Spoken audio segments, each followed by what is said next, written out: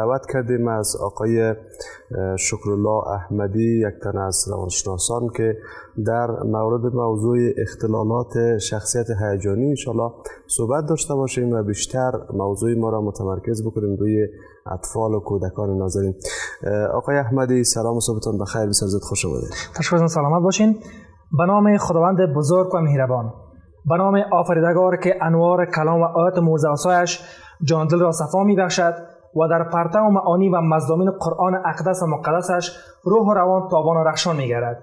به نام خداوند لو قلم حقیقت نگار وجود آدم دور هستم خسته بشه دارم خدمت شما موجی مفق و دستگاه مهربانتان و سلام مجد و خاص خدمت بیندگان عزیز تلویزیون رای فردا.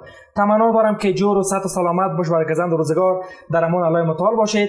و صبح را تا این دم به خوبی و خوشی هرچی تمامتر آغاز کرده باشید. و تمنا دارم که با شما بیندگان عزیز یک بارمی خوب و خوش داشته باشم. تشکر. ان سلامت باشید خیلی تشکر. خوش آمدین. آقای احمدی عزیز موضوع برنامه ما یاد کردیم اختلالات شخصیت هیجانی یا شخصیت نمایشی است. در نخست اگر بگوین که اختلال شخصیت هیجانی یا نمایشی چگونه یک اختلال است؟ زن سلامت باشه واقعا خیلی سوال خیلی خوب هست. البته من باید بگم که اول اختلال خودش به معنای مختل شدن یا در هم یک کار گفته میشه. و خود شخصیت شما بهتر می‌دونید که شخصیت متفاوت هست و هر انسان یک شخصیت خیلی خاص داره و اکتیف خیلی خاص داره. و هیجان نمایشی به این معنی که مثلا اینها زمانی که دچار این میشن هیجان بیشتر نشان میدن و بیشتر نمایشی رفتار می‌کنن. و شوی این اختلال که است در جامعه در میان افراد جامعه در حدود یک الی دو فیصد است و در خانم ها بیشتر میشه و همچون که اختلال شخصیت هیجان نمایشی روبروی افراد تمرکز داره که رفتارهای بیشتر نمایشی نشان میدن تا اینکه مورد توجه قرار بگیرن آنها که جلوگیری خیلی خاص بکنن به این معنی که مثلا زمانی که ایشان در یک جمع ظاهر می‌شوند در یک مجلس ظاهر می‌شوند ایشان مثلا با لباس های پر زرق و برق با آرش های خیلی غلیظ و آنجا که صحبت های بسیار تاریک‌آمیز و اغراق آمیز می‌خوان که تمامی جمع را جمع بکنن و بگن که واقعا من یک فرد هستم واقعا من یک جناب عالی هستم در کل. بس عام. و همچون که اختلال شخصیت از نمایشی اکتیو هست. یعنی هر نوع اختلال که ما در نظر می‌گیریم اکتیو خاص افراد هستند اما اینجا مهم هست که مثلا این اختلال کس در میان افراد و جامعه به میزان کم یا زیاد دیده میشه یعنی خفیف یعنی شدید. بعض افراد هستند که بیش از حد هیجان نمایشی هستند هم از کودکان جوانان نوجوانان و بزرگان. بیش از حد هیجان نمایشی هستند و کسانی که بسیار خفیف دارن. ان که در لحظات اخیر برنامه که در مورد صحبت خواهیم کرد. بسیار خوب بسیار خوب. حالا در رابطه با خصوصیات افرادی که مبتلا به شخصیت هیجانی یا نمایشی هستند چه است خصوصیاتشون؟ نام سلام باشه مثال یک سوال خیلی خوب هست. خصوصیات می جمع خاصیت. خاصیت به این معنی که مثلا یک شاخصه را داره. اولین کاری که می‌کنیم اعراض علم یا خصوصیات این افراد را می‌دونیم و بعضی که بدونیم واقعا افراد چی مشکل دارن و در کدام اوقات ایشان اینها را تبارز میدن. اولین خصوصیاتی که این افراد دارن این افراد دوست دارن که بیشتر از همه در میان جمع تمرکز از مردم باشن. خب اینجا سوال خلق می‌شود که همه دوست دارن که در جمع که میشن مورد توجه همه باشن. اما ایشان میگن که بیش از حد همه اون تمام افراد که در جمع هستن می‌خوان که بیشتر همه مورد توجهشون قرار بگیرن و یک هیجان نمایش از خود نشان بدهند. و همچون که می‌خوان که محور یک جمع قرار بگیرن یعنی در یک دایره که اصلا می‌خوان که در بین داره در میان داره در محور داره ها ایشان قرار بگیرن اما زمانی که به خواستاش نمی‌رسن امیانشون سرکوب می‌شود خواستهاشون سرکوب میشن ایشان خیلی ناراحت و غمگین میشن و حتی خیلی آزاردهنده هست. چون که میل افراطی دارن و, و نمی‌تونه که میلشون برآورده شود.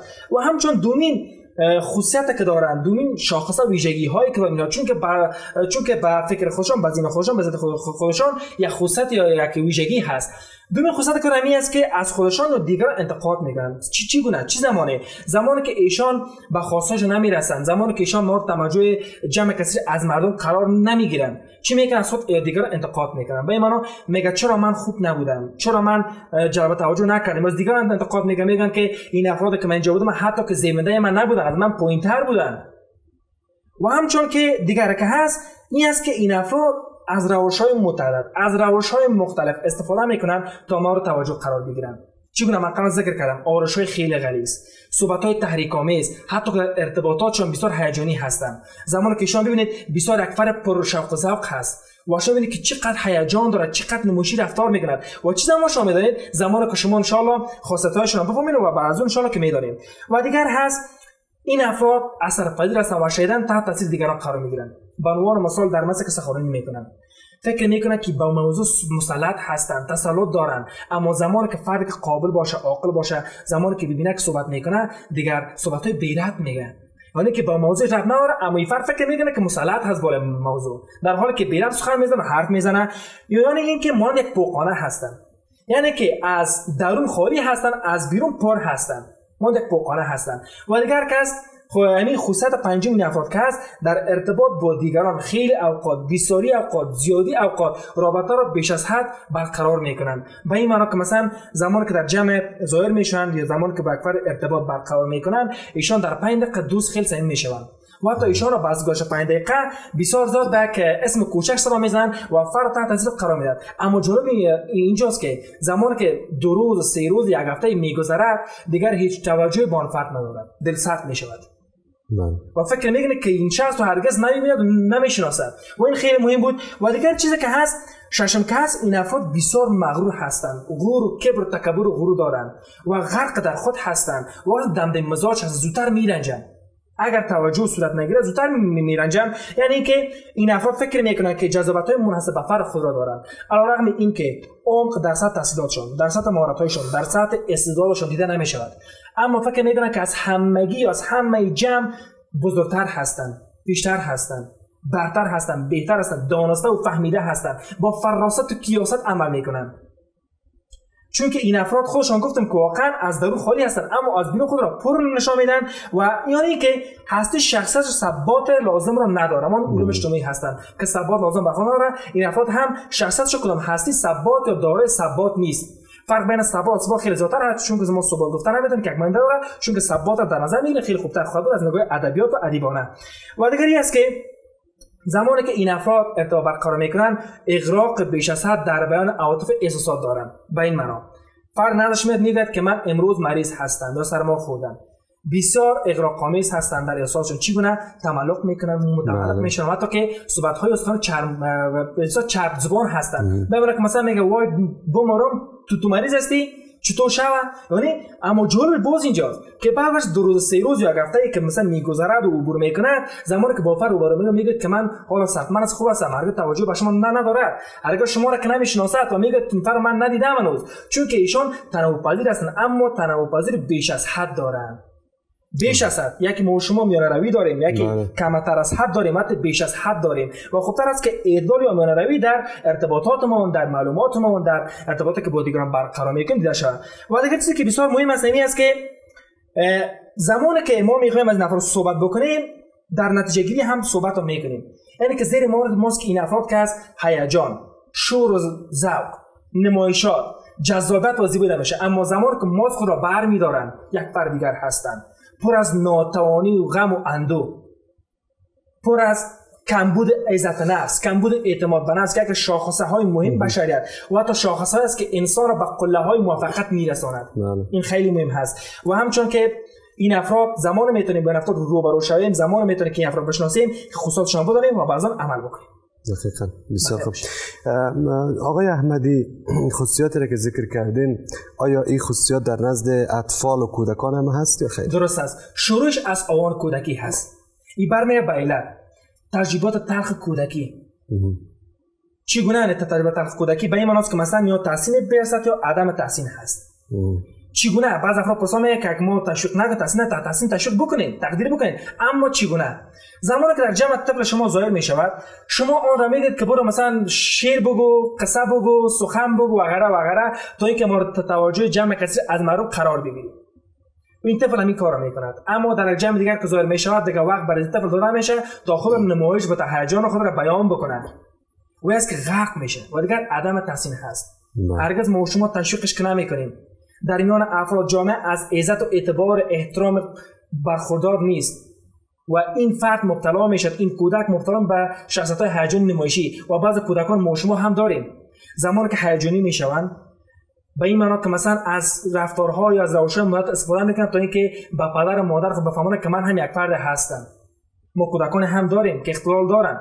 و شورش از آوان کودکی است ما باید ما کنترل بک مدیریت بکنیم. این هرگز برطرف نمی شود بعض امراض هست که برطرف سرکوب می شود اما این کنترل مدیریت می شود اما زمان که کنترل مدیریت صورت نگرفت به حد اوج رسید فرد را به قهقره ها می کشد حتی به منجلاب هم می کشاند پس باید که زمان کودک هستن توجه بیشتر صورت بگیره. و دومین علتش که هست رابطه سرد کودک با مادر هست و همچنان که رفیق شدن با پدر هست. چگونه؟ در سین تا قبل از پنج سالگی. زمان که مادر به توجه نمی‌کنه کودک از روش های مختلف از روش های متعدد از رفتارهای استفاده می تا اینکه جلب توجه پدر به خود بزباد برسانه. یعنی به خود بگیره.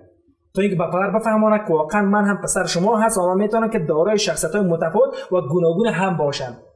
و حتی که اریکسون یکی از روان درمانگران بسیار مشهور شهیر هست. همیشه مطالعات کرده تحقیقات انجام در مورد کودکان هیجانات کودکان هیجانات بزرگسالان. و خودش هم میگه که میگه کودکانی که در سن کودکی از سن 3 تا 5 سالگی یا سن 3 تا 7 سالگی آن بازخور مثبت آن feedback مثبت یا حمایت از فامیل و بخصوص مادر را نداشتن یا ندارن به شدت دچار خودپنداری ضعیف می شوند و خودشان را با ارزش و دوزاشنی در جامعه در سمت افراد جامعه نمی‌دانند پس این پس این است که کودکان ما و شما هیجان خیلی زیادتر دارن. پس چرا؟ چقدر خوب است که مادر ما توجه بکنن. اما متاسفانه که مادر ما حتی اقلیتشون البته مادر خیلی مهربان هستن واقعا. چون که اقلیت مادران توجه کمتر دارن و توجه کمتر بالا کودک صورت می‌گیره و کودک می‌خواد که با پدر نزدیک و قرین شود. بعضی لحاظ از رفتارهای متعدد از روشهای گوناگون که من قبلا ذکر کردم استفاده می تا اینکه مورد توجه کثیر مردم مورد توجه خویشاوندان اقارب بزرگسالان بزرگان و حتی میان توجه محیط محل هم قرار بگیرد و دیگر چیزی که بسیار مهم هست زمانی که ایشان دچار خودپنداری ضعیف می‌شوند و این معنی که مثلا یا فرد یا کسی باور اینها را بسته است. یا مادرشان باور اینها را بسته است یا پدرشان یا هم اشخاصی که در جامعه زندگی می‌کنن باورشان را بسته است. من خیلی داستان کودک ذکر میگم وقت باقی ما نباشه ان شاء الله ذکر میگم حالا ذکر می‌کنم داستان هست داستان صاحب فیل کودک از صاحب فیل پرسید که چرا این فیل بزرگ و عظیم الجثه را با این تناب بسیار سخیف و ضعیف و نحیف بسته کرده اید. فیل می‌تواند با حرکت بسیار کوچک خودش را رها و برای عوام مردم خیلی خطرناک خواهد بود. صاحب فیل گفت این فیل این کار را نمی‌تواند. کودک پرسید که چطور چگونه این چنین چیز امکان دارد؟ فیل گفت بله. زمانی که این فیل کوچک بود من فیل رو با تناب یا رسپان بسیار زخیم و بزرگ بسته کردم و هر چقدر که تلاش می‌کرد نتیجه نداشت و بالاخره به این باور رسید. و برها به این رسید که هیچ اثر یا تلاش اثر ندارد. پس پس از این لحاظ که من باورش بستم حتی می‌تونه که با کوچکترین ضعیفترین سخیفترین و نایفترین طرف هم اینو هم بسته بکنم. پس نکته این داستان در کجا هست؟ شاید هر کدام از ما با فکر بسته شده باشیم که مانع حرکت ما واسه پیروزی ها می شود من گفتم که باید ماشون مدیریت بکنیم و حتی که ادرار در نظر بگیریم. من درست هست میگم که هیجان داشته باشید اما هیجان بیش از حد نداشته باشید که مبتلا به اختلاط هیجان نمایشی می‌شوید. و چقدر خوب است که مدیریت داشته باشید ادرار میانه داشته باشید تا که بودن که بیش از حد هم توجه قرار بگیرید. و دیگر علت این افراد که هست ژنتیکی هستند بسیاری از این رفتار و عادات را از والدین خود میآموزند. بخصوص مادر. زمان که مادر گوش می‌کند که زمانی که به مهمانی می‌رود زمانی که به محفل می‌رود و دعوت هست. از رفتارهای نمایشگونه استفاده می‌کنه روش پرزرق و برق و لباسهای غلیظ و غیره و غیره استفاده می‌کنه تا اینکه در آنجا خیلی خوب باشه. و کودک هم یاد می‌گیرن چی طفل مذکر چی طفل مؤنث می‌گیره. که من هم باید این کار رو بکنم. و این هم امور روشا تعقیب می‌کنه. و دیگر چیزی که این هست علتش کمبود اعتماد به نفس و عزت نفس هست. چگونه؟ من اعتماد به نفس عزت نفس فقط یک جمله کوتاه من خلاصه می‌کنم اعتماد به نفس نفس مانند یک درخت هست. درخت اگر ریشه سالم باشد جور باشد میوهش هم خیلی شیرین خواهد بود. اما اگر درخت ریشهش ناسالم باشد میوهش هم ناسالم خواهد. معنا که خود درخت عزت نفس هست و های درخت و میوه های درخت به خصوص اعتماد به نفس هست. و چقدر عزت نفس ریشه یک انسان هست. و ریشه یک انسان از چه شکل می‌گیره؟ از کودکی از سن 3 سالگی تا سن 5 سالگی و 7 سالگی. اگر ما تا این حد و باس مادران که بی‌توجه باشند و از نفس طفلشان را در نظر نگیرند در کل تخریب می‌شوند. و چقدر خوب است که مادران بیشتر توجه بکنند و توجه بیش از حد داشته باشند. به اطفالشان تا اینکه عزت نفس اینها تخریب نشود. بله دقیقا. بسیار خوب. آقای احمدی در رابطه با درمان اختلال هم اگر صحبت بکنیم که راه های درمان اختلال چی است؟ زنم سلام با شما. خیلی سوال خوب هست. خب ما از طریق صحبت کردیم از از اعراض عالم خصوص صحبت کردیم ما خصوصشون گفتیم مایلاتشون گفتیم و چیزی که در ما خیلی مهم هست. اولین کاری که می‌کنیم آگاهی از شناسایی خطاهای شناختی و باورهای غلط اشتباه. باورهای غلط شبه خود را باید بدانیم. من گفت قبل کردم که این اختلال یا خیف اصلا شدید هست. کسان خیف هستن می‌تونه خوبتر خوبتر در و کسانی که شدید هستن می‌تونه که توسط دیگران که برشون میگن بفهمن بدانن. و اما قهر و غضب که نشون و اگر چی هست همدلی و محبت با کودک در سن کودکی هست در آوان کودکی در آوان طفولیت هست. به این معنا که هر کودک نیاز به محبت نیاز به صمیمیت نیاز به همدلی حتی که همت بدون قید و شرط و محیط امن قابل پیش بینی شده را دارد. و حتی اگر بتانی که برای کودک خود زمینه رو مساعد بزنن تا قبل سن هفت سالگی که بازخور مثبت بگیرن هیجانات خوبتر بگیرن مفید بگیرن حتی میده که آوان بزرگی زمانی که بزرگ میشن حتی ماندگار و تاثیرگذار هم بالایشان باشد. و این واقعا که اثرگذار خواهد باشد. اما شوربختانه بدبختانه متاسفانه اگر موفق نشدیم کودک باورهای منفی می‌گیرن و به اختلال سیاست نمایشی هیجانی مبتلا میشن و دیگر چیزی که هست برچسب منفی نزدن به این افراد هست. ما باید بیایم این افراد که تو نمی‌تونی تو ناکام هستی تو تحقیر تو حقیر هستی. بیایم کار نکنیم.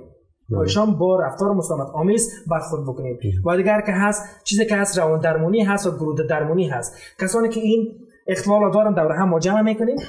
یعنی افراد فرد بدانه که من تنها اختلال من نداره که من که هجو نمایشی هستم بلکه این افراد که جمع داره اینا هم دارن و ایشان می‌تونن که تجربهشان را و راهکارهایشان شریک بسازن میان همدیگر.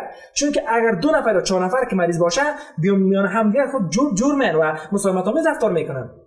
و, و گروه درمانی هست. و دیگر هست گروه درمانی هست که ان صحبت خواهیم کرد چون که یک بحث بسیار طویل و دراز هست که فارماکولوژی هم صورت خواهد گرفت. و دیگر هست ورزش هست. سه ورزش. یوگا حتی ورزش هم خیلی می‌تونن که ورزش تایچی که تایلندی هست و هم خیلی می‌تونن و biofeedback. که سین ورزش برای سرکوب کردن و برای مدیریت کردن اختلال خیلی مهم هست و دیگر روان درمانی اجتماعی هست. شناخت رفتارهای غلط شناخت رفتارهای نامناسب از کودک تا فرد بزرگسال.